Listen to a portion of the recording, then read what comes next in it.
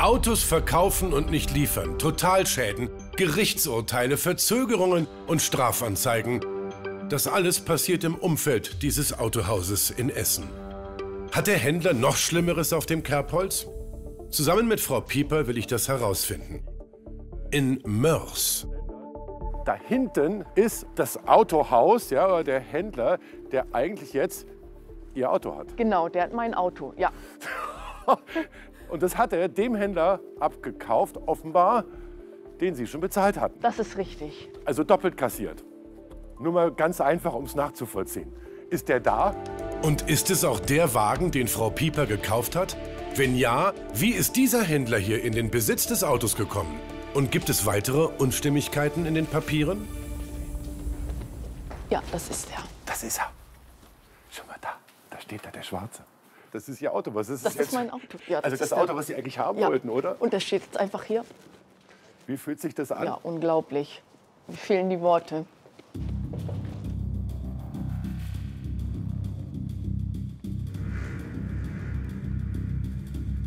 Guten Tag. Hallo, Chef. Machen wir mal so. Der ist es nicht. Der ist es nicht. Der ist es nicht. Der Von wem haben Sie denn das Auto gekauft? Warum? Weil Frau Pieper hat es auch gekauft. Genau das.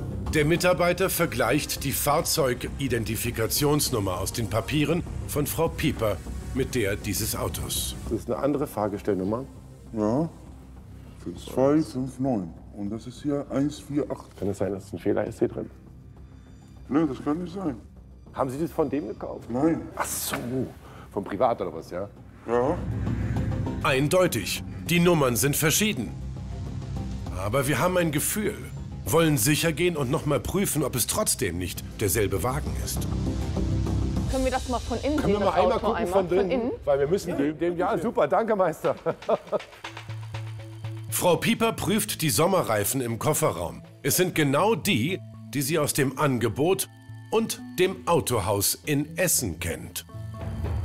Ja, das sind die hier. Das ist nicht Beweis. Nee. Äh, Nee. Nein, nein, nein, nein, nein, ja. Wo der war im Internet, äh, äh, der hat einfach die Bilder geklaut und hat inseriert. Das, Haben Sie den denn live gesehen? Ja, ich war ja vor Ort. Das kann sein, dass das eine Fälschung Genau, ist. das Weißt du, wie ist- ich meine? Also das wurde Wissen Sie noch, von wem Sie es gekauft haben? Privat oder? ich muss den, äh, Ja, ja, ja. den äh, Unterlagen gucken. Ja, ja, ja. Ja, ja können Sie mal Also, gucken. das ist im letzten Monat gekauft. Ah. Es wurde äh, ist beim, beim Steuerberater. Ich will das prüfen, können Sie mir nur Ihr Telefon. Absolut, sehr, sehr gerne, sehr, sehr gerne. Hast du noch irgendeinen anderen Hinweis? Haben Sie noch einen Hinweis? Nur schauen, nur schauen. Wir müssen ja richtig detektivisch hier vorgehen. Denn der Wagen hat einen eindeutigen Makel. Laut Online-Anzeige des Autohauses in Essen ist im Fußraum der Teppich durchgescheuert. Hat dieser Wagen dort auch dieses Loch? Hier vorne, wenn du mal guckst, da unten ist so eine kleine Macke. Da unten fehlt Staub. Das ist er, ne? Das ist der. Das ist der. Ja. Das heißt aber, dass wahrscheinlich die Fahrgestellnummer hier drauf eine Fälschung ist. Ja. Scheiße. Das ist ja dann auch noch Dokumentenfälschung. Ja. Das ist ja Betrug von dem anderen. Also pass mal auf, ich würde sagen, als erstes Kopien hast du davon noch, ja? Ja. Darf ich Ihnen das nur mal, damit Sie es auch mal haben, hier lassen? Ich schreibe mal unsere Telefonnummer auf. Ja, Haben Sie einen Stift? ja. Ich bin mir jetzt sicher, das ist das Auto, das Frau Pieper voll bezahlt, aber nicht bekommen hat. Ein letzter Abgleich. Achso, Kilometerstand, schaue ich auch mal. Wie viel war denn der Kilometerstand bei Ihnen? Ich guck mal eben. Knapp unter 8000? Ja. Ja, das ist er. 8000 Kilometer. Hier steht's drauf. Was ist denn hier eigentlich passiert? Der hier scheint ein ordentlicher legaler Händler zu sein. Der hat das erworben, hat aber jetzt, wie man hier vorne sieht, eine andere äh, Fahrgestellnummer. Ja. Das kann ja, wenn alle anderen Merkmale, die Sie gerade gezeigt haben, nur bedeuten, dass Die Papiere gefälscht sind. Das wäre eine Urkundenfälschung. Das Strafgesetzbuch sieht dafür eine Freiheitsstrafe von bis zu fünf Jahren vor. so, mir fehlen jetzt wirklich ein bisschen die Worte. Ihnen auch, Ja, ne? ich bin schockiert. Da steht es so zum Greifen nah. Eigentlich hätten Sie sich die Schlüssel nehmen wollen. Ja. Oder was heißt? Mein Geld ist weg und das Auto steht hier und Papiere sind gefälscht. da kommt jetzt einiges zusammen. Ne?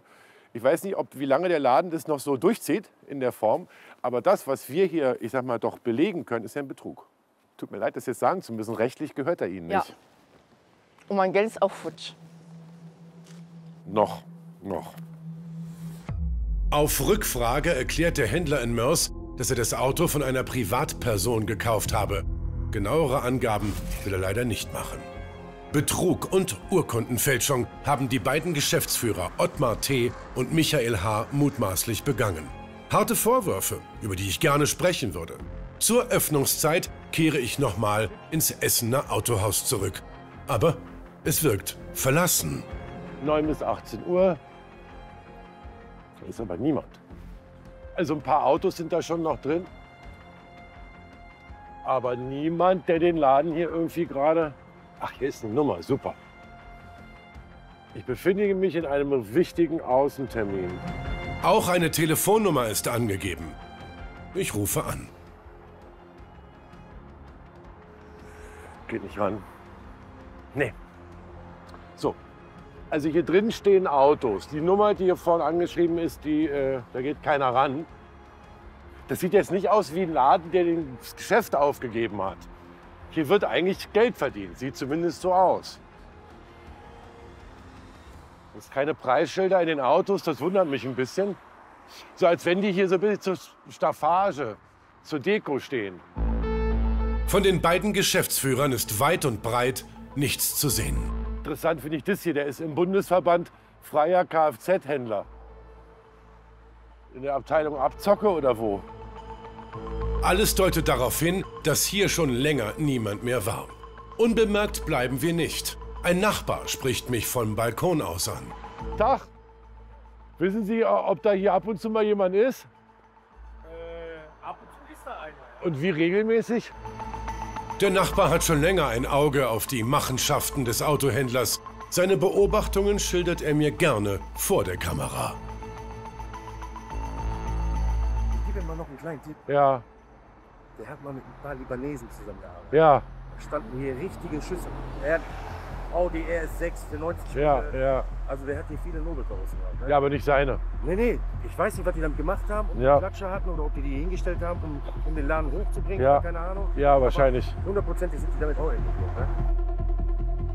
Ein weiterer Hinweis auf die möglichen krummen Geschäfte in diesem Autosalon. Also interessant, die Nachbarn berichten natürlich das, sorry, ich mach mal kurz die Mütze ab, wovon wir schon längst ausgehen, dass hier jemand arbeitet, der eben wirklich krumme Geschäfte tätigt, in irgendeiner Art und Weise. Ähm, wie kriegen wir den her? Ganz einfach, ich interessiere mich für so eine Karre. Vielleicht kann er ja morgen früh, steht denn da hinten drin? Ach, der SLK, den nehme ich. Der ist silberne. Gut, also, Der ist auch noch im Internet. sehr gut. SLK 9 und 10. Und wenn er wirklich Geschäfte machen will, egal ob graue oder nicht, dann erscheint er hier morgen früh auch. Sieht aber eigentlich seriös aus. Von außen. Man weiß nie, was dahinter steckt. Alle weiteren Anfragen bleiben unbeantwortet. Auch telefonisch ist niemand mehr zu erreichen. Und das hat einen Grund. Kurz vor Weihnachten 2023 erfahren wir, das Essener Autohaus ist insolvent. Unsere Zuschauer, die Familie Pieringer, hat dem jetzt insolventen Händler 15.000 Euro überwiesen. Dieses Geld ist jetzt so gut wie futsch. Der Brief hat uns echt noch mal Weihnachten vermiest. Stehen gerade total neben uns. Wirtschaftlicher Totalschaden eines Essener Autohauses. Wie schlimm die Lage wirklich ist, erfahre ich erst Wochen später, nachdem der Insolvenzverwalter einen Bericht an die Geschädigten schickt. Einer unserer Redaktionssöhne sammelt Autos, so kleine. Das sind Lukas, die bekommst du auch wieder. Es geht in unserem Fall aber nicht um Spielzeugautos, sondern insgesamt um wirklich teure Kfz. Und die Kunden, die bezahlt haben, die Autos nicht bekommen haben, bekommen stattdessen vom Insolvenzverwalter jetzt ein Anschreiben. Wie schrecklich, oder? Ich darf daraus gerne mal zitieren. Der Insolvenzverwalter schreibt, es gibt keine belastbare Buchhaltung bei dem Unternehmen. Zahlungsströme können nicht nachvollzogen werden da es dazu keine entsprechenden Belege gibt. Zum Teil sind Rechnungen geschrieben worden, denen kein Rechtsgeschäft zugrunde liegt. Und jetzt kommt der Hammer. Aufgrund der vorgefundenen Situation hat es der Steuerberater abgelehnt, Jahresabschlüsse zu erstellen. Ist dem noch irgendwas hinzuzufügen? Das sagt doch eigentlich alles über die Geschäftstüchtigkeit des Autohauses, oder? Einen letzten Versuch will ich noch unternehmen, die beiden Geschäftsführer Ottmar T. und Michael H. zu konfrontieren. Warum haben sie über ein Jahr lang ihre Kunden abgezockt und flüchten sich jetzt in ein Insolvenzverfahren, an dessen Ende alle Geschädigten sicher nur einen kleinen Teil ihres Geldes zurückerhalten. Also insolvent kann ja jeder gehen.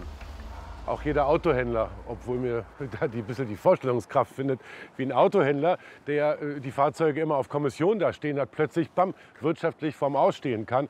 Außer er macht krumme Dinger. Und genau auf die würden wir die Herren jetzt gern mal ansprechen. Zu meiner Verwunderung sehe ich, dass mittlerweile ein anderer Name an der Fassade prangt den wir aus rechtlichen Gründen unkenntlich machen müssen. Wie, ich denke, hier ist insolvent. Ach so, das hat das gerade einen neuen Namen, das Ganze. Aber die Autos kennen wir ja. Anscheinend hat sich schnell ein Käufer gefunden. Wenn alles richtig gelaufen ist, ein gutes Zeichen für die Gläubiger. Denn so steigt die Insolvenzmasse, aus der sie bedient werden. Aber wo finde ich die beiden alten Geschäftsführer? Guten Tag. Hallo. Ist der zu sprechen? Nein. Ach so. Der Herr ist der noch hier irgendwo? Der war da drüben, ist aber schon weg. Der war da drüben. Vielleicht können Sie mir helfen. Wer weiß denn was über den Herrn? Ich stehe vor dem neuen Eigentümer des Autohauses. Der Kfz-Betrieb im Hinterhof hat übernommen und berichtet mir, dass nur einer der beiden Geschäftsführer operativ den Hut auf hatte. Und so ist das hier in Essen und Umgebung. Ja?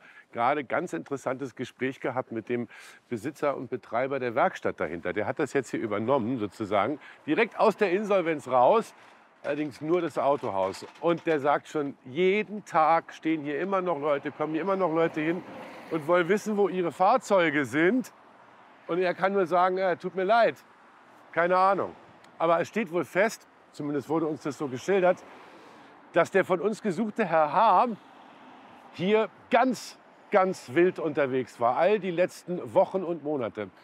Ganz offensichtlich hat er das getan als Co-Geschäftsführer seines eigenen Schwiegervaters. Aber Unwissenheit schützt vor Strafe nicht. Deshalb unternehme ich den ultimativ letzten Schritt im Namen meiner Zuschauer. Ich versuche, die beiden Geschäftsführer zu Hause anzutreffen. Zuerst suche ich Michael H. auf, der Mann, der mutmaßlich hauptverantwortlich für die Straftaten sein könnte. Hallo, guten Tag. Hallo?